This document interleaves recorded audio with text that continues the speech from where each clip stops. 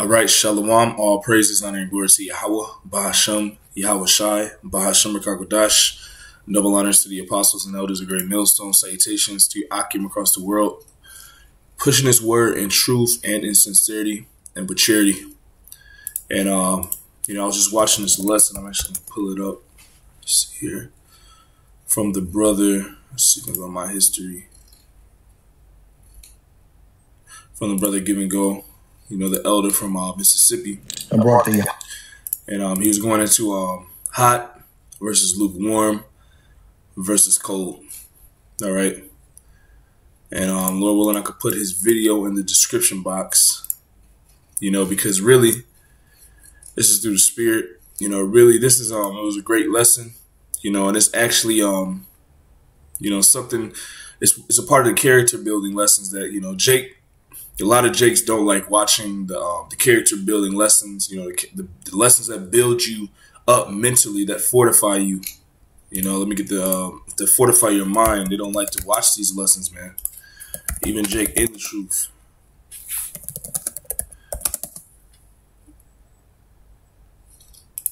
What does it mean to fortify your mind? A fortified mind is a citadel of hope and excitement. That's the point we should still continue to re- remain all right, and um, hold within us the excitement of this truth. You know, even catching, going through our hell, even going through our, uh, you know, our pitfalls, even going through this, uh, this captivity that we're living in, we're supposed to maintain and retain this truth, like the, uh, the elder Sahab said, you know, a week back, and that's actually the real test. All right, to see if you're gonna stay hot or to see if you're going to go and start to become lukewarm, or if if the Lord is going to see if you're just going to become cold. You know, this is us remaining and keeping our faith. Uh, it produces its own joy and multiplies that joy in many folds, seeking more things that make it interesting. So this is why we're supposed to continue to study. We're supposed to we're supposed to continue to stay occupied, or you're going to become lukewarm or cold. And it's to myself first and foremost, is as I say in all these lessons, man. We're not supposed to be getting. We're right at the end. We're literally at the door at the end of this this uh, this captivity for our for our, uh, for the nation. And we don't want to be involved in this world. Now we have to maneuver in this world. All right. Um, why? Because we have to live, we have to get our daily bread, but our whole focus and our excitement should be in this truth. Because ultimately, if it's not in this truth and your excitement is more so in this world, then the Lord is going to be angry with you. And it also says what? That the love of the Most High, the love of the Most High, and the truth is not in you. All right. It says the mind never stops once it is fortified. That's why we have to do this with our mind, and that's what character building lessons do. It has a constant taste for anything good and becomes creative. Okay? So we have to remain hot, excited about this truth to myself first and foremost because what?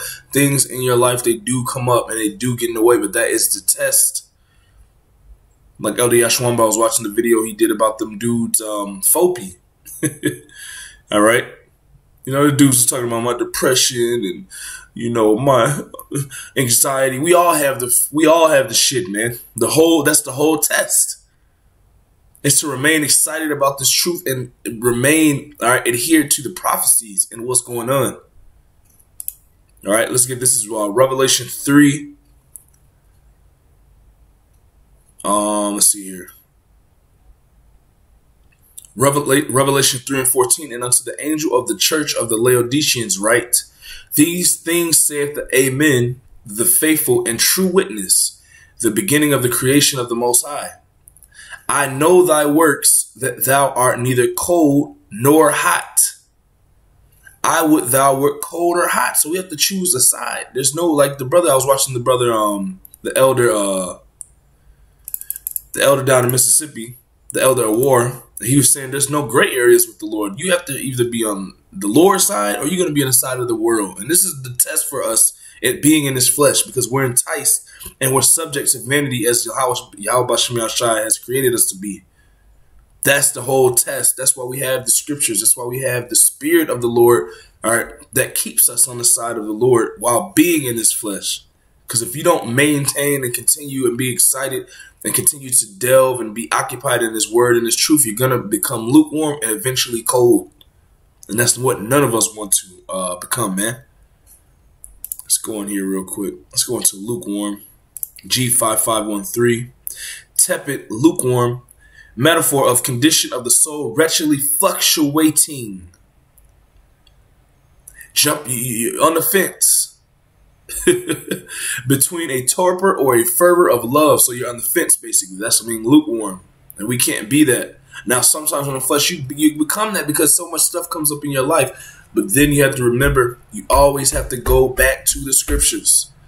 When you're fluctuating like that, we're gonna it's gonna happen. When you're fluctuating like that, go watch a lesson, go read. Don't do something fleshly all right, to put you on the other side of that fence into being cold. You see? Now let's go to the definition of cold. Because the Lord wants us either hot or cold. This is to myself first and foremost, and then you know this is really through the Spirit. It's not to anyone in, it's into anyone in uh, specific. This is just in general. Let's go to the word cold. G five five nine three. Cold, metaphorically cold, sluggish, inert, inert, lacking the ability or strength to move. You would lack when you become cold. You lack the ability to do lessons. You lack the ability to to to go teach the word. Why? Because you have fallen into that that pot of loving this world more than this truth. That can't be. Synonyms: unmoving, motionless, immobile, still, stock still, stationary, static, dormant sleeping. what did the Lord say about us sleeping? We can't go back to sleep. We didn't. The Lord done woke us up to this truth. We can't. Listen, we can't go back to sleep, man. Unconscious, out cold, comatose, lifeless, inanimate, insensible, senseless, slothful, sluggish, lethargic. We can't be that, man. That's to myself first and foremost, man. We're not that mean. These these are all uh, attributes of being cold in the spirit, man. Let's continue. Let's go back. Let's uh, exit out of this. Let's read it again. Revelations 3 and 15. I know thy works, that thou art neither cold nor hot. I would thou wert cold or hot. I would you, you so the Lord's saying you're gonna either be cold or hot with me, man. I know you're going through your struggles. I know. I understand. Because he tell it breaks it down when you read through the book of Revelation. The Lord says, I know how thou hatest evil. Roughly paraphrasing. But are you gonna be cold or hot with me, man? I know you going through it. I know it. I've been, I've been through it. I had to give my life for it. That's the, that was the Lord's lot. But you have we have to continue to maintain to be hot with whatever uh, uh, uh, uh, with whatever portion the Lord gave you. You be hot with that portion. Verse three, uh, Revelation three and seventeen. Because thou sayest, I am rich and increased with goods and have need of nothing, and knowest not that thou art wretched and miserable and poor and blind and naked. So yeah, the Lord, you know, you might get blessed with stuff in this world that can make you go cold, loving that stuff more. But you have to continue to remember you're in captivity still. That's yeah, the Lord might bless you, beautiful. I hope you get like the brother, uh, the other said in uh, Mississippi. I hope you get more. But you have to remember that you have to utilize the things that the Lord gives you, and you still have to continue to do this work. Or it's gonna make you what? You're gonna become a lukewarm or cold, and we can't become that, man. Because what? Revelation 3 16. So then, because thou art lukewarm and neither cold nor hot, I will spew thee out of my mouth. So the Lord will leave you alone. You see? Why? Because you love this world. Let me get a scripture. Let's exit that out. Um, I think it was James. Yeah. James chapter 4, verse 4 Ye adulterers and adulteresses, Know ye not that the friendship of the world is enmity with the Most High? Let's get what that word means. Define enmity. Now, the state or feeling of being actively opposed or hostile to someone or something. See? That is the spirit that the Lord is going to have towards you if you continue to put this word, this world, or things in your life over this truth. If you continue to put your feelings, your depression, your anxiety, we all have it. We're in the flesh. We're fighting a fight of faith. If you can, if, but if you put that over doing this truth, the Lord's gonna. That means you love this world, because really, that means you you shit you mad or depressed or have anxiety because you want to have things in this world. Fuck this world. We all go through that because we're in the flesh, we, and we're Jake. We like things. We like nice things. We like to have things. We like to have a woman that want that that listens. It's not gonna happen. We like to have children that are not wicked, children that get it. It's not. It's not really for the most part. It's not gonna happen. It could, but it's really for the most part. It's not. We want to have. We want to have money in our pocket. Sometimes we're not gonna have it. And sometimes we're gonna have it, and it's gonna you're gonna want like that money a lot because it's a blessing from the Lord, but it's also a test to see if you're gonna follow after that money and focus on that money more than this truth. And that's a test that we all go through because the Lord does bless you. But with those blessings, He gonna see what you're gonna do. Are you gonna still push this word if I give you stuff? Or you gonna care about the stuff more than this word? The state or feeling of being actively opposed or hostile to someone or something. And that's that spirit that the Lord is going to have towards you if you put this world or love this world, all right, over this truth to the point where what? You become lukewarm, you become cold, you become sluggish, lethargic, all right, as pertains to pushing this word. You see? Now we all have our, you know, uh, writer's block. I think the apostles going to that. But then even then, still go watch the lesson, still go read. The Lord's gonna give you something. If you believe in the Yashai that He's dealing with you, the Lord's gonna give you something. This is why we have to remain occupied in this truth, or else what?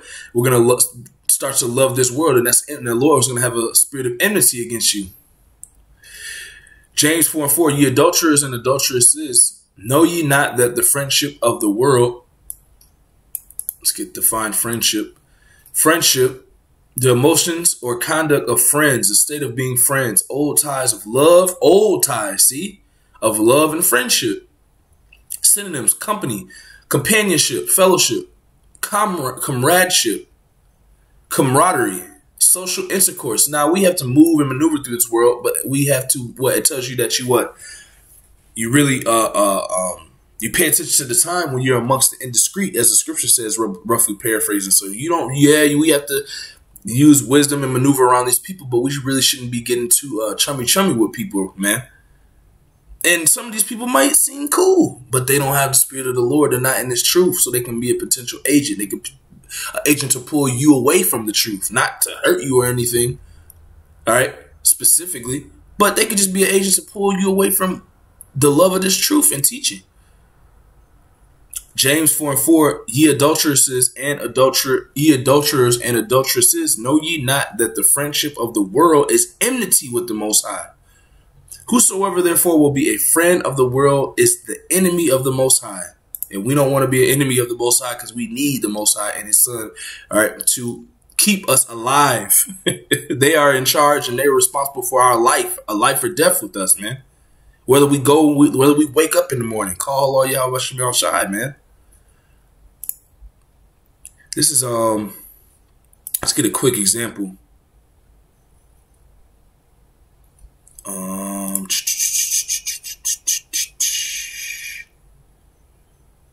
Bear me one second. Let's exit some windows out. This is uh, Acts 15 and 36. And some days after Paul said unto Barnabas, Let us go again and visit our brethren in every city where we have preached the word of the Lord and see how they do. And Barnabas determined to take with them John, whose surname was Mark. But Paul thought not good to take him with them, who departed from them from Pamphylia and went not with them to the work. So, see, there was a there was a, a, man that did not go to the work. He didn't he, he didn't want to teach. He didn't want to go out to the highways and byways and teach. All right, he went to go do something else, which shows what? He was lukewarm. He wasn't in the spirit of doing the work. And the contention was so sharp between them that they departed asunder one from the other. And so Barnabas took Mark and sailed unto Cyprus, and Paul chose Silas. And Paul chose Silas and departed, being recommended by the brethren unto the grace of the Most High. See, so Silas, he was hot. He was ready to do the work, ready to push the word. And we all get in that spirit, but we all have to snap out of it because we have to continue to occupy. We have to continue to push this word, man. And he went through Syria and Cilicia confirming the church. And then this is the spirit because what? You had those dudes at Fopi. I just watched the lesson that El Yashawamba did. They stopped doing the work for two uh two weeks or something like that. That's unacceptable, man. That's unacceptable, man. And that's the spirit I'm doing this lesson at all. It's, it's through the spirit, man. It's it's all linked, man It's unacceptable, man. We have to continue to do this word, do this work, man. Because that shows what? That we love the Lord, Yahweh Shem Shai, more than we love the world. Second Timothy's, um, let's see here. Bear me one second. You see something.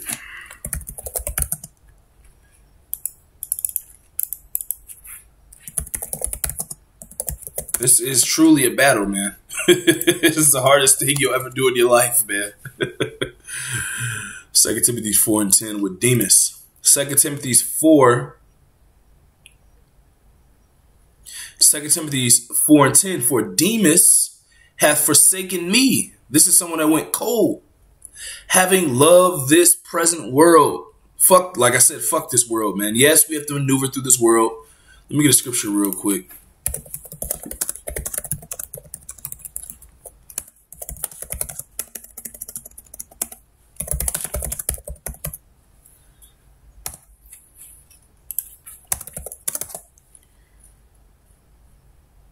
This is Sirach. Yep, this is it.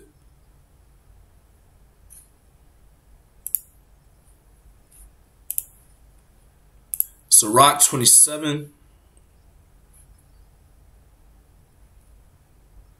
Sirach 27 and 12.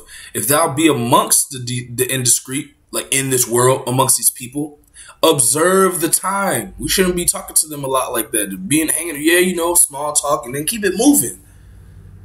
They're dead spiritually. They're of this world. They're gonna be destroyed on this side. They, now, if there's some of your friends that you had nowhere, they're gonna come back on the other side, man. Or they could possibly come into the truth later on. But we had to observe the time when being around these people that don't understand what's going on and don't understand the times that are not watching what's going on on the earth. But be continually among men of understanding. And what are you going to do when you're among men of understanding? Talk about the scriptures. You might do a lesson. You're going to teach. See?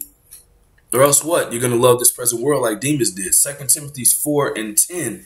For Demas hath forsaken me, having loved this present world. We just read about the love of the world is enmity with the Most High.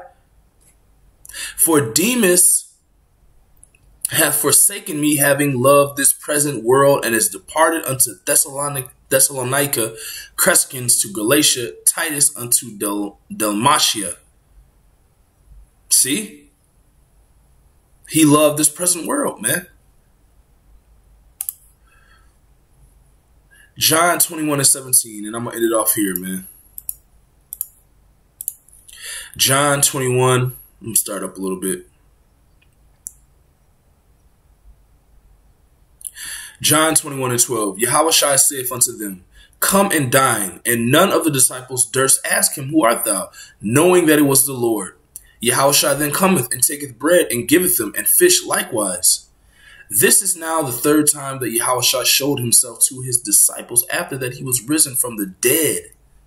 So when they had dined, Yahushua saith to Simon Peter, Simon, son of Jonas, lovest thou me more than these?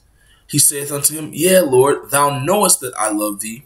He saith unto him, Feed my lambs. That's teaching this word. We have to continue to feed the sheep, feed these watchers, feed the believers that are watching us. We have a task. They have a task. They have to listen. They have to stay adhered. They can't follow way back to the truth. They have to continue to watch. They have to continue to study and listen to us. We have to continue to study so we can continue to teach, continue to edify, continue to feed the Lord's lambs.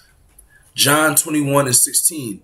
He saith to him, and we have to love that. He saith to him, because that means you love Yahweh Shemel Shai. John 21 and 16, he saith to him again the second time, Simon, son of Jonas, lovest thou me? He saith unto him, Yeah, Lord, thou knowest that I love thee. He saith unto him, Feed my sheep. He saith unto him the third time, Simon, son of Jonas, lovest thou me? Peter was grieved because he said unto him the third time. So Peter was like, Lord, how many times you gonna ask me? But the Lord didn't care because he wants to see, all right, what his spirit was. Lovest thou me? And he said unto him, Lord, thou knowest all things. Lord, you know all things. You're the, you're the son of the Most High. You know I love you. Thou knowest that I love thee. Yahweh Shai saith unto him, Feed my sheep. That is our whole job. See? That's what the Lord has given us the truth for. And this to myself first and foremost. And it's a fight. It's a battle. it's not easy being the teacher. Ask a teacher a, uh, that teaches the school of this world. Shit is stressful. but that's what comes with it. We have to continue to be occupied and remain occupied in prophecy and in teaching his word. You see? The Lord said, occupy until I come. We have to do this until the Lord comes or until this reality is done, whenever that is, and however it, it, it comes forth.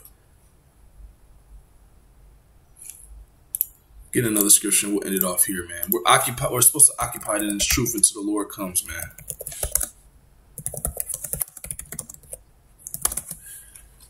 And that shows forth that you what? That when the Lord comes, he shall find you doing, as the scripture says. And he shall make you ruler. That's what we want. We want to be a ruler. I want to be a ruler. That I'm pretty sure from the apostles and elders on down all to all the brothers around the world, you want to rule. They, the apostles, you know they want to rule. They've been doing this for 30, 40 plus years. The elders, you know they want to rule. They've been doing this for 10 plus years. So on and so forth, man.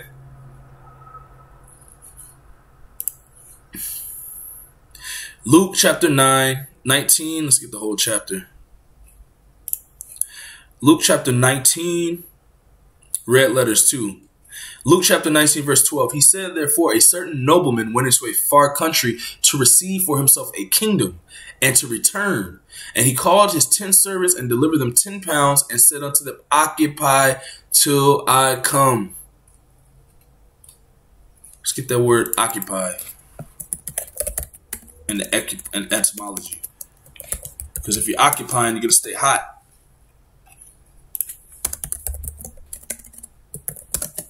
And after you do this work, then you go do whatever, you know? That's the balance because I'm about to play uh, Halo. Occupy. Let's see here.